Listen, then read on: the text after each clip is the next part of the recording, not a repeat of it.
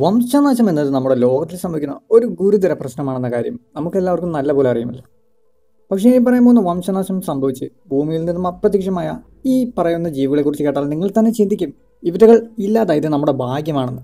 അങ്ങനെയുള്ള കുറച്ച് പത്ത് ജീവികളെക്കുറിച്ചാണ് ഇന്നത്തെ ഈ വീഡിയോയിൽ പറയാൻ പോകുന്നത്.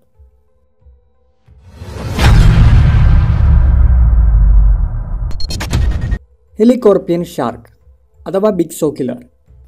ഒട്ടനവധി സിനിമകളിൽ ടീറക്സ് പോലുള്ള ദിനോസറുകളൊക്കെ കണ്ട് പരിചയമായ നമുക്ക് മറ്റുള്ള അറിയപ്പെടാത്ത ഭീകരന്മാരെ കുറിച്ച് കേൾക്കുമ്പോൾ ആ ഒരു പേടി ഫീൽ ആവുന്നില്ലായിരിക്കുമല്ലേ? എങ്കിൽ നാം പോലും ചിന്തിക്കാത്ത രീതിയിൽ ശരീരഘടനയുള്ള ഒരു അതീവ അപകടകാരിയായ മത്സ്യമാണ് ഹെലികോർപ്പിയൻ ഷാർക്ക് വേട്ടയാടലിൽ ബഹുമിടുക്കരാണിവർ. ഇവരുടെ ഏറ്റവും വലിയ പ്രത്യേകത എന്തെന്നാൽ ഇവരുടെ പല്ല് അറേഞ്ച് ചെയ്തിരിക്കുന്ന രീതിയാണ്. സാധാരണ നാം കാണുന്ന മത്സ്യങ്ങളുടെയൊക്കെ വാല്യതും തികച്ചും വ്യത്യസ്തമാണ് ഇവരുടെ ഒരു വായ് ഭാഗത്തിന്റെ രൂപകൽപ്പന. വായുടെ നടുക്ക് വൃത്താകൃതിയിലാണ് ഇവരുടെ പല്ലുകൾ അറേഞ്ച് ചെയ്തിരിക്കുന്നത്. ഇവ പൊഴിയുന്നില്ല എന്നത് മറ്റൊരു വ്യത്യസ്തമായ കാര്യം കൂടിയാണ്. ഇവ പൊഴിയുന്നതിന് പകരം പുതിയതുണ്ടാവുന്നതനുസരിച്ച് പഴയ പല്ലുകൾ വായനുള്ളിലേക്ക് തന്നെ പോകുന്നു എന്നതാണ്. പക്ഷേ എന്തൊക്കെയോ കാരണങ്ങൾ കൊണ്ട് ഇവ വളരെയധികം വർഷങ്ങൾക്ക് മുമ്പ് തന്നെ ഭൂമിയിൽ നിന്നും ഇല്ലാണ്ടായി.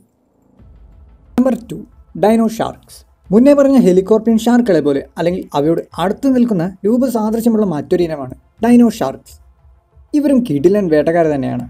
അതുപോലെ തന്നെ ഇവരുടെയും പല്ലുകൾ കൊഴിഞ്ഞു പോകാറില്ല. പകരം പുതിയത് വളരുന്നതിനനുസരിച്ച് പഴയ പല്ലുകൾ വായ്ക്കകത്തേക്ക് തന്നെ പോവുകയാണ് ചെയ്യുന്നത്.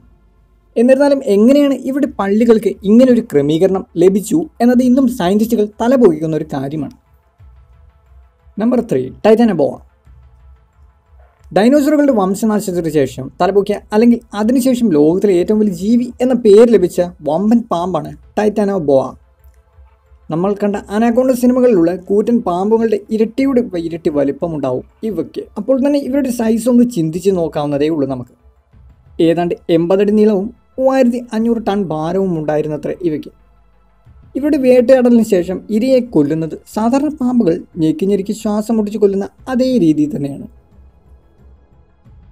ജൈഗാറ്റിക് അക്വാറ്റിക് സ്കോർപ്പിയൻ സാധാരണ ഒരു തേളിനെ കണ്ടാൽ തന്നെ നമ്മളിൽ മിക്കവരും ഓടി രാജ്യം കടന്നിട്ടുണ്ടാവും. അപ്പോൾ ഏതാണ്ട് അഞ്ചടി നീളമുള്ള ഒരു നീന്തി നടക്കുന്ന ഒരു ഭീകര വലിയ തേളിനെ കുറിച്ച് ചിന്തിച്ചു നോക്കും. ഇന്നത്തെ ഞണ്ടുകളോടും ലോബ്സ്റ്ററുകളോടും ഒക്കെയാണ് ഇവർ സാമ്യപ്പെട്ടിരിക്കുന്നത്. പെൻഡക്കോപ് ടെറസ് ഡെക്കോറ ആൻസിസ് എന്നാണ് ഇവരുടെ യഥാർത്ഥ നാമം. ഏതാണ്ട് നാനൂറ്ററുപത് മില്യൺ വർഷങ്ങൾക്ക് മുമ്പാണ് ഇവർ വംശനാശം സംഭവിച്ചെങ്കിലും നമുക്ക് ഇവരുടെ ഫോസിൽ കിട്ടിയത് രണ്ടായിരത്തി പതിനഞ്ചിലാണ്. മെഗാ ക്രോക്കോഡൈൽ ഡൈനോറസൂച്ചസ് എന്നാണ് ഇവിടെ യഥാർത്ഥ നാമം. ഭീകരമായ മുതല എന്നാണ് ഇതിനർത്ഥവും. പേര് പോലെ തന്നെ ആയിരുന്നു ഇവരുടെ രൂപവും ജീവിത രീതിയും കാരണം ഒട്ടനവധി വലിയ ദിനോസറുകളുടെ ഫോസിലുകളിൽ നിന്നും മെഗാ ക്രോക്കഡലിന്റെ പല്ലിന്റെ പാടുകളുണ്ടായിരുന്നു അത്ര അതിനർത്ഥം തലവന്മാരായിരുന്ന കൂറ്റൻ ഡിനോസറുകളോട് ഈ ഭീമൻ മുതല നിർത്താതെ നിരന്തരം യുദ്ധം ചേരുന്നു അത്രേ ഏതാണ്ട് ഡൈനോസറുകളെ വരെ വകവരുത്താൻ കഴിയുന്നത്ര സൈസായിരുന്നു അവർക്കുണ്ടായിരുന്നത്. ഈ അടുത്തിടെ വടക്കേ അമേരിക്കയിൽ നിന്നും കണ്ടെത്തിയ മെഗാ ക്രോക്കഡലിന്റെ ഫോസിലിന് ഏതാണ്ട് മുപ്പത്തഞ്ചടി നീളം വരെ ഉണ്ടായിരുന്നത്രേ. റാറ്റ്സിലാസ്. ഒരു വലിയ കാളയുടെ അത്ര വലിപ്പമുള്ള എലിയെക്കുറിച്ച് നിങ്ങൾക്ക് ചിന്തിക്കാൻ കഴിയുന്നുണ്ടോ? എന്നാൽ അങ്ങനെ ഒരു എലി പണ്ട് ജീവിച്ചിരുന്നു. ഏതാണ്ട് അഞ്ചടി നീളമുള്ള വാലും പത്തടി നീളത്തിലുള്ള ഉടലുമായിരുന്നു അവയ്ക്കുണ്ടായിരുന്നത്. ഓബരമോസിസ് പാറ്റർസോണി എന്നാണ് യഥാർത്ഥ നാമം ഇവരുടെ. എന്നാൽ ഇവിടെ വലിപ്പം കൊണ്ട് വിളിക്കുവാനുള്ള എളുപ്പത്തിൽ റാറ്റ്സില്ല എന്ന പേരിടുകയും ചെയ്തു. ഒരു മനുഷ്യന്റെ കാലിന്റെ നീളമുണ്ടായിരുന്നു അത്രേ. ഇവിടെ മുൻ പല്ലുകൾക്ക്.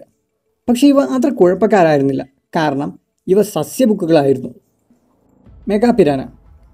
പിരാനകളെക്കുറിച്ച് ഞാൻ നിങ്ങൾക്ക് പ്രത്യേകിച്ചൊന്നും പറഞ്ഞു തരേണ്ട കാര്യമില്ലായിരിക്കുമല്ലോ. ഇരുട്ട് നിറഞ്ഞ കലങ്ങിയ വെള്ളത്തിൽ വീഴുന്ന ജീവനുള്ള എന്തിരി മിന്നൽ വേഗത്തിൽ കുതിച്ച് കൂട്ടത്തോടെ ആക്രമിച്ച് അവശിഷ്ടങ്ങൾ മാത്രമാകുന്ന ഭീകര മത്സ്യങ്ങളാണ് പിരാനകൾ. ഈ കുഞ്ഞമാരത്ര ഡേഞ്ചർ ആണെങ്കിൽ ഇവിടെ ഇരട്ടിയുടെ ഇരട്ടി വലിപ്പമുള്ള മെഗാ പിരാനകളെക്കുറിച്ച് കൂടുതലൊന്നും നമ്മൾ പറയേണ്ട കാര്യമില്ല. അത്തരം ഭീകര പിരാനകൾ ഏതാണ്ട് പത്ത് മില്യൺ വർഷങ്ങൾക്ക് മുന്നേ ജീവിച്ചിരുന്നു അത്രേ. മൂന്നടി നീളം വരെ ഉണ്ടായിരുന്നു ഈ കൂറ്റൻ പിരാനകൾക്ക്. ഇവയ്ക്ക് രണ്ട് റോകളിലായി നിറച്ച് പല്ലുകളുണ്ടായിരുന്നു അതുകൊണ്ട് തന്നെ ഇപ്പോഴുള്ള കുഞ്ഞു പിരാനകളേക്കാൾ പതിന് മടങ്ങ് അപകടകാരികളായിരുന്നു ആ സമയത്തുണ്ടായിരുന്ന കൂറ്റൻ പിരാനകൾ. ടെറർ ബേർഡ്സ് പേര് പോലെ തന്നെ അല്പം ടെററാണ് ഇവർ പോറുംബ്രാഗഡെ എന്നാണ് യഥാർത്ഥ നാമം. രണ്ട് മില്യൺ വർഷങ്ങൾക്ക് മുമ്പ് വരെ നോർത്ത് സൗത്ത് അമേരിക്കയിലാണ് ഇവർ ജീവിച്ചിരുന്നത്. ഇവയ്ക്ക് ഏതാണ്ട് പത്തടിയോളം ഉയരവും അതിനൊത്ത ഭാരവും ഉണ്ടെന്നും പറയപ്പെടുന്നു. ഇവരുടെ കാൽപാദം വളരെ ഭാരിച്ചതും സ്ട്രോങ്ങും ഷാർപ്പുമാണെന്നും അതായത് ഇരയുടെ തലയോട്ടി വരെ ഇവർക്ക് നിഷ്പ്രയാസം ചവിട്ടി പൊട്ടിക്കാനുള്ള കഴിവുണ്ടായിരുന്നു അത്രേ. ബിഗ് ഫുഡ് നമുക്കറിയാവുന്ന യതി പോലുള്ള ഒരു ജീവി അല്ലെങ്കിൽ അവയെന്ന് കരുതപ്പെടുന്ന കൂട്ടരാണ് ഈ ബിഗ് ഫുഡ് ജൈഗാൻഡോപിത്തക്കസ് എന്നാണ് ഇവരുടെ യഥാർത്ഥ നാമം. ഏകദേശം നൂറായിരം വർഷങ്ങൾക്ക് മുന്നേ ഏഷ്യയിൽ ജീവിച്ചിരുന്നു എന്നാണ് പറയപ്പെടുന്നത്. ഇന്നത്തെ ഒറാങ്ങൂട്ടാനോടും മറ്റുമാണ് ഇവർ കൂടുതലായും സാമ്യപ്പെട്ടിരിക്കുന്നത്. ഇവിടെ കൈ തന്നെ ഏതാണ്ട് പത്തടി നീളമുണ്ടായിരുന്നു അത്രേ. മിശ്ര ബുക്കുകളാണെങ്കിലും ഇവർക്ക് കൂടുതലും വെജിറ്റേറിയൻ ആണ് താല്പര്യം. മെഗാലോഡോൺ. ലോകത്തിൽ ജീവിച്ചിരുന്ന ഏറ്റവും വലിയ അപകടകാരിയായ കൂറ്റൻ സ്രാവായിരുന്നു മെഗാലോഡോൺ. ഒരു മാസീവ് കില്ലി മെഷീൻ എന്ന് തന്നെ വേണമെങ്കിൽ നമുക്ക് പറയാം. അത്രയ്ക്ക് അപകടകാരികളായിരുന്നു അത്രേ അവർ. സൈസ് നോക്കുകയാണെങ്കിൽ മെഗാലോഡോണിന്റെ അടുത്ത് ഇന്നത്തെ ഗ്രേറ്റ് വൈറ്റ് ഷാർക്കിനെ വെച്ചാൽ നമ്മളുടെ അടുത്ത് ഒരു ഗോൾഡ് ഫിഷിനെ വെച്ചാൽ എങ്ങനെ ഉണ്ടാവും? അതേ സെയിം സൈസ് ആയിരിക്കും ഗ്രേറ്റ് വൈറ്റ് ഷാർക്കിന് ഉണ്ടാവുക. അത്രത്തോളം ഭീമമാണ് അവർ.